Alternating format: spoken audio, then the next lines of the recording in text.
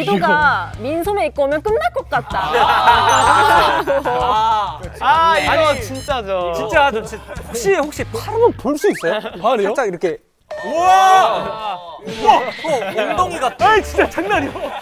엉덩이 같은 게 않았어요? 엉덩이. 와. 와 여기 진짜 제 한참 선배예요.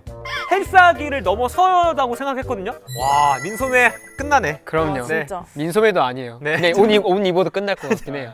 다음 댓글도 민소매가 아니고 그냥 무서운 얼굴.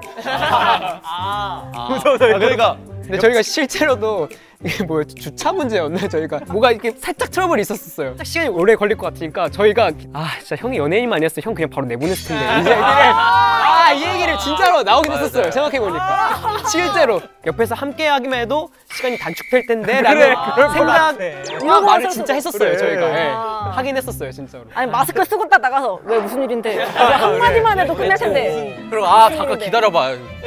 전화 받았으면 이렇게 받아 끝났는데. 아, 기다려. 아, 난 이렇게 이렇게 가면 이렇게까지 받을 수 있어. 이건 돼. 아, 네, 실제 그런 일이 있었었어요. 맞아요.